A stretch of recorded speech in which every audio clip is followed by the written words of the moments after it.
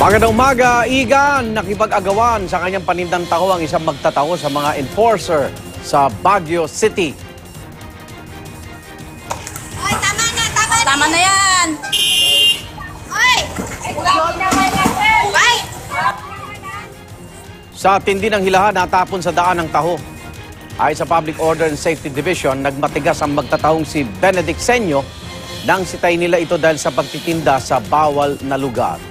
Sabi ni Senyo, hindi malinaw sa kanyang paglabag at sabilitan na lang kinuha ang paninda niya kaya nakipag-agawan siya. Tingin naman ng mga kapwa magtataho ni Senyo, hindi makatao ang ginawa ng mga enforcer. Dapat din daw naka-uniforme ang mga nanguhuli. Sagot naman ng mga otoridad, hindi talaga sila nag-uniforme para hindi raw sila mahalata at matakasan ng mga illegal vendor.